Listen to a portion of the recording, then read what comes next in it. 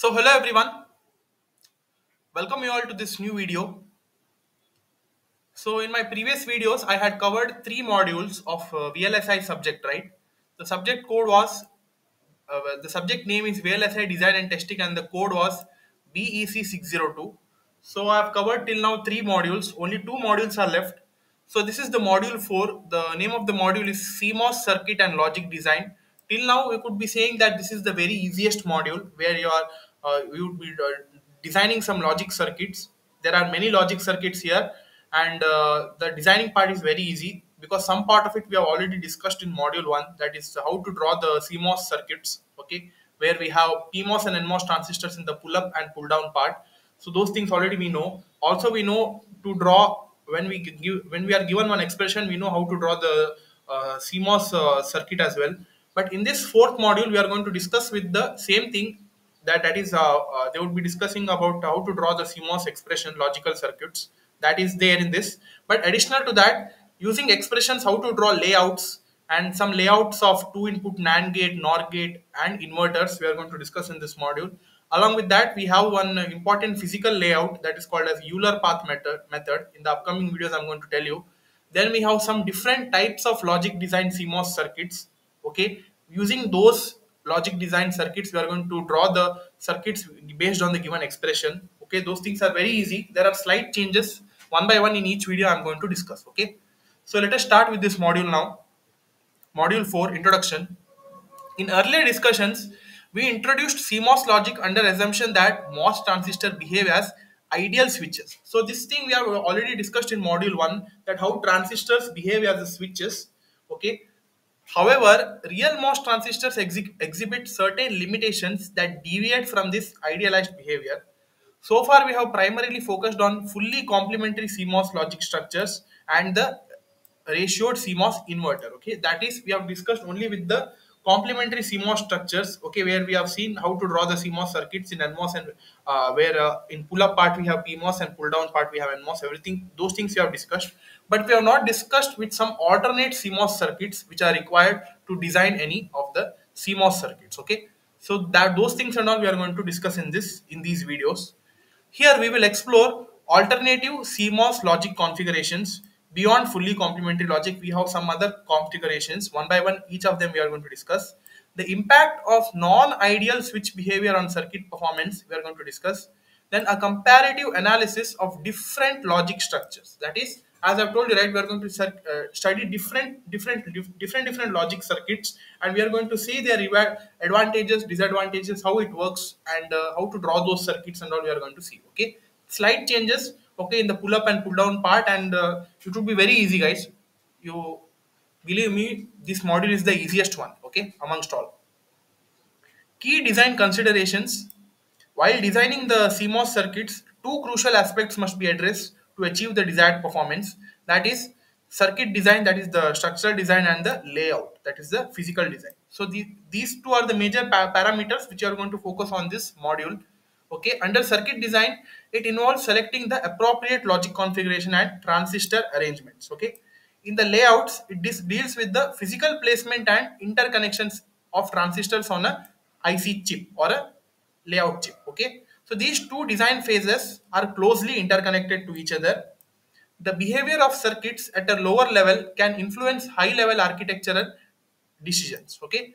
Therefore the system designers must have a fundamental understanding of low level circuit design to make the informed choices at higher levels of abstraction so this means that uh, if uh, using these design different CMOS design circuits, it would be very essential to draw any complex circuits. It would be very easy to draw any complex circuits in the uh, future demand in the VLSI. So these uh, different design circuits are very essential. So that's why these design considerations would be keeping a vital role in designing these circuits. Okay.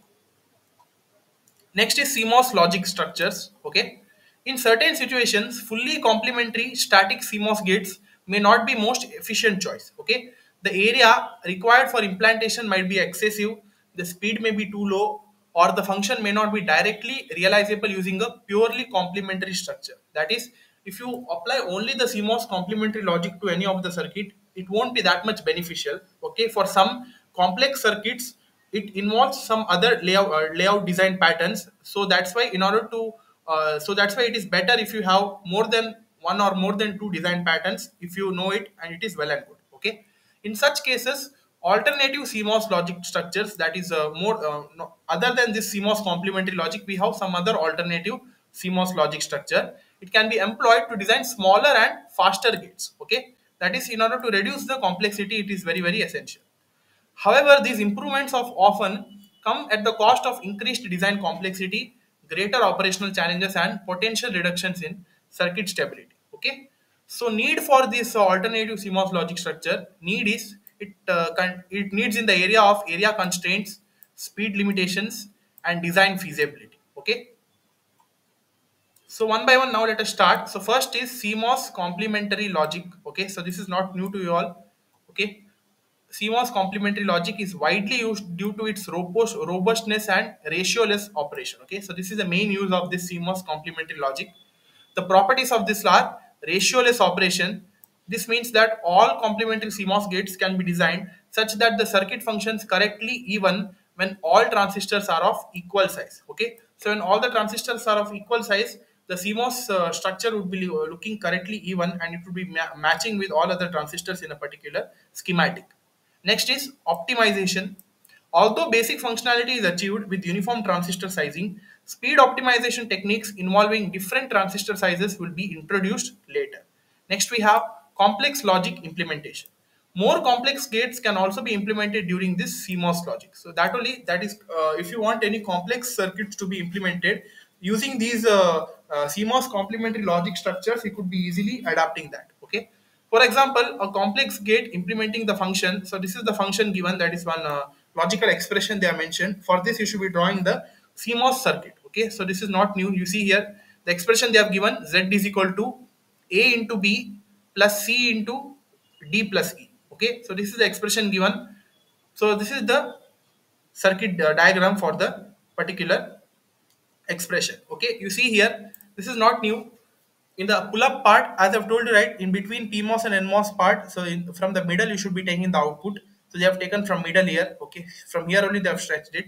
In this is the pull-up part, and this is the pull-down part, where pull-up part consists of all the PMOS transistors, and pull-down part consists of all the NMOS transistors. So I, I, I've already told you in my first module that is when the when the two inputs or two variables are multiplied, then in the pull-up part, the PMOS would be in parallel and the NMOS would be in series. And uh, when the two variables or the terms are uh, added, then in the pull-up part, PMOS would be in series and NMOS would be connected in parallel. Okay, based on that, the connections are made here. You see A into B. So these two are multiplied. So A and B are uh, given separately and they are given parallelly then it is added with C into D plus E. So you first you see here D plus E, D plus E, so they are uh, in series here, D and E, and that is multiplied with the term C. So that's why D and E would be in parallel with C, and totally A, A into B plus C into D plus E, so it's getting added. So these two connections are in series, okay. So this is for the pull-up part. Similarly, for a pull-down part, the NMOS connections are just reverse here it was in series A and B. Now here it was in parallel. So now here in NMOS logic it would be in series. Similarly here E and D are in series. Here it would be in parallel.